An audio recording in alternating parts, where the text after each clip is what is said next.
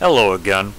So if you didn't already know, Death Battle has returned after nearly a year after posting the Death Battle they made before this one because, you know, they're independent now after the whole Rooster Teeth situation that happened this year or the end of last year, I think. And their latest death battle is between Bardock and Omni-Man. Omni-Man from Invincible and Bardock from Dragon Ball. Now, don't get me wrong. This fight was good for a first video back, especially with the probably more limited budget they have now, being independent and all, but the result slash winner of the battle was less than stellar, with also less than stellar reasoning. So, I'm here to debunk it, as usual. First of all, in regards to speed, they said Bardock was faster, which I was surprised by, considering the fact that I thought they were going to do this the other way around, which is where Bardock is stronger and more durable, and Omni-Man is faster, but here Bar Bardock should have actually won by their own logic. They say that Bardock is 475 trillion times the speed of light, while Omni-Man is only 20 billion times the speed of light. And after doing the maths, this would mean Bardock is quite literally 23,750 times faster than Omni-Man. And in the top right corner, they say him, um, in, you know, Omni-Man scaling Universal would make him 34 trillion FTL. However, Bardock would still be faster.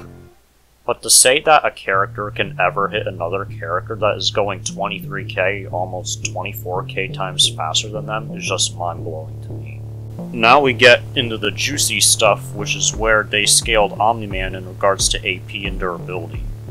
They start by mentioning the fact that Omni-Man destroyed planet Viltrum, which they said would be comparable, if not better, than King Vegeta waving his hand and blowing up three planets at once since they say planet Viltrum is bigger in scope than the planets destroyed by King Vegeta. The issue with this feat is they don't even mention the context behind it.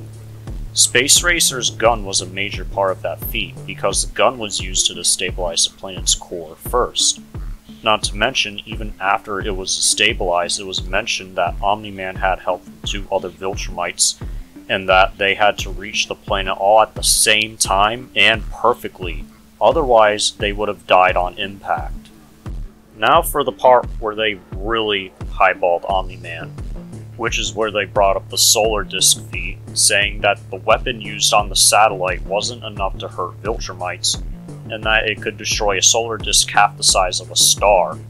In Death Battle, calculated this feat to 8,641 tons of TNT, making it star level. There's issues with this feat as well. There has never been an implication that Viltrumites can tank hits from these lasers and move at billions of times the speed of light according to Death Battle. Space Racer's gun is so effective on Viltrumites since it can act it's actually fast enough to hit them.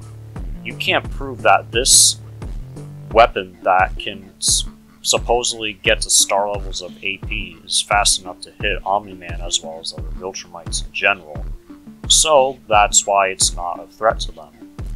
They also state that the ship can tank its own beam and Conquest can destroy the ship, making it so they scale to it either way. Yet this ship is firing a laser beam. Laser beams don't have mass or force in the way that physical mass does.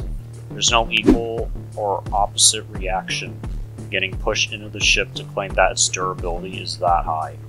In general, in many fictional medias, we also see that vehicles have weapons that can destroy and damage themselves. So, yeah.